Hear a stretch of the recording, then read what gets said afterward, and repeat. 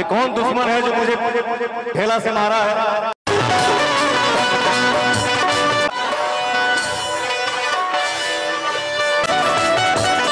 ये कौन महानुभाव है?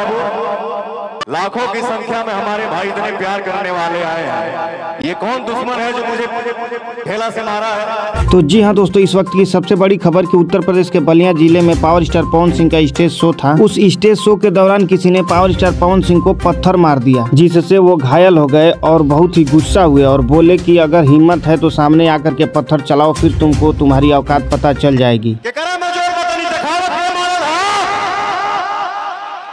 दोस्तों किसी भी कलाकार के साथ ऐसा नहीं करना चाहिए ये बहुत ही गलत बात है।